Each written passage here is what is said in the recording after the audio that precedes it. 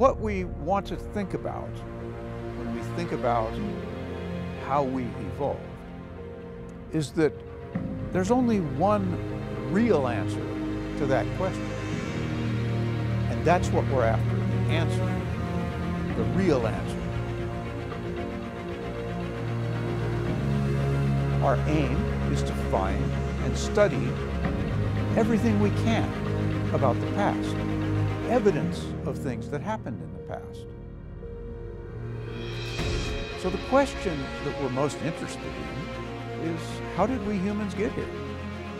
It showed that a creature at 4.4 million years ago on our side of the family tree was neither human nor chimpanzee.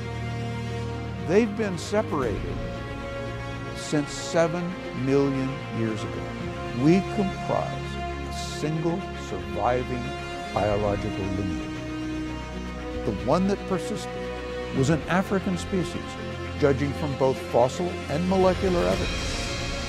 And that one is us, Homo sapiens. These early hominids of 2.6 million years ago understood that by striking the stones together, you could make a sharp edge, and that opened up a whole new geographic and behavioral world. And evolving technologies have been fundamental in our evolution ever since. We, Homo sapiens, are still a very young species, a species whose future, because of our technology, is uniquely in its own hands. I'm Tim White.